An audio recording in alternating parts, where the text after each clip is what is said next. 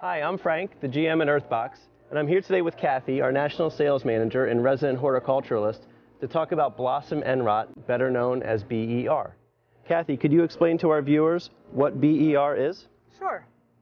First off, BER stands for blossom end rot, as Frank said, and it is always considered a plant disease, and it is not a plant disease. It is actually a disorder.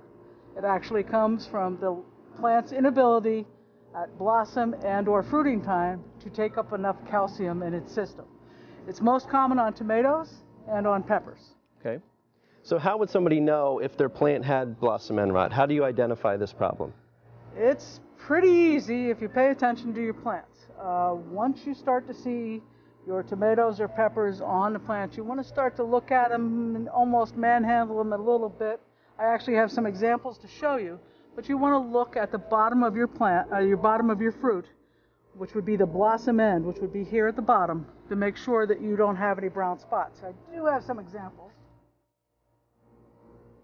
in a couple of different stages. You look at this one, this is a very young tomato, and this is the very beginning of blossom end rot. This is right, the blossom has just dropped off, and you can see that brown spot. That's the beginning of blossom end rot. Here's another one with a little bit different degree. Here's another one. And here, unfortunately, is a ripe tomato with blossom end rot. So you can see this is not a very pleasant thing. Okay. When it happens, it usually occurs not on all your fruit. So if you see a tomato that has blossom end rot, should you pick it off of your plant or should, are you okay just to leave it on? You can do either one. I myself tend to pick them off. People will always ask, can you actually eat that fruit? And yes, you could. You could cut off the, the rotten end and eat the top half of the tomato. I don't like to look at that. I have enough tomatoes I want to I want to remove that. Okay. So now that we've identified what blossom end rot looks like, how do we prevent this from happening? The best way to prevent is again preventing is the is the key. Uh, the best way, most likely, is to use a high magnesium, high calcium lime, such as a dolomitic limestone, like we suggest in the EarthBox. If you do this and you do it regularly, as in every time you plant your EarthBox, you add dolomite, you're probably going to get to the right amount of dolomite and calcium in the soil that you're not going to have the problem. One of the things that I have noticed in a few short years at EarthBox is that it seems to have a cumulative effect. Many people think that you should dump out your soil and start fresh every year or your potting mix. I disagree with that.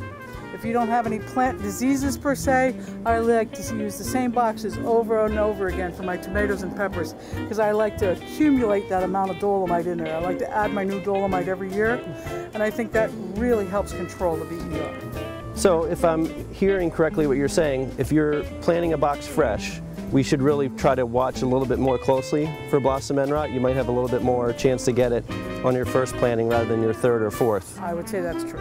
Okay, so now that if we have blossom end rot, how do we cure this problem? Is it curable or is our season lost? No, it's definitely curable. Again, reaction time is kind of critical. I would say the earlier you can catch it, the better. My suggestion is remove the affected fruit, but again, not necessary. But I do have a cure-all, but it's a one-time. It's not shouldn't be used as a preventative because it is a, a lime product that we're going to use. It can drastically change your pH in your box. I don't want you to continue to use it, and I don't want you to use it if you don't have to. But we do have a pretty good solution that'll stop and control the BER very quickly. Okay. Why don't you show me what that is? Okay.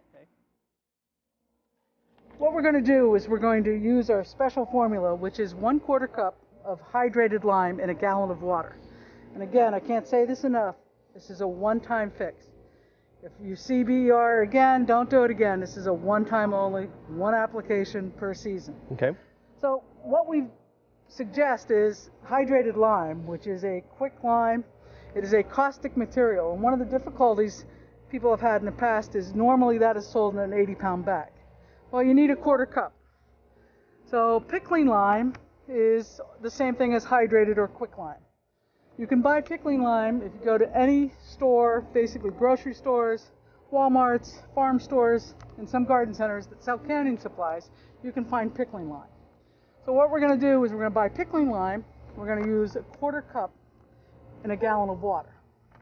Now, as I said, hydrated lime and or pickling lime is caustic. Okay, so gloves are probably in order, which I'm not using. I wouldn't want to do this on a windy day outdoors, and I wouldn't want to leave my children or pets around this. Okay, but I have a pre-measured quarter cup in here, and I have a gallon of water in a watering can.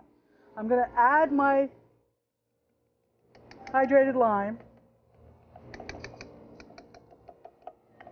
which again is a quarter cup in a gallon of water.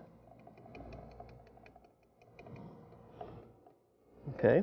And I'm going to add that to my water reservoir. Now, one of the things that I'm going to make sure is that it's at the end of the day when my plants need a drink, or I'm going to make sure that I've tipped my box to make sure that I can fit a whole gallon of water in my water reservoir.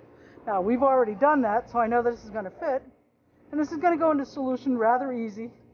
So I'm going to mix it up just a little bit, and then Frank, I'm going to let you pour that into the reservoir if you don't mind. No. Now that's going to look like a milky white substance.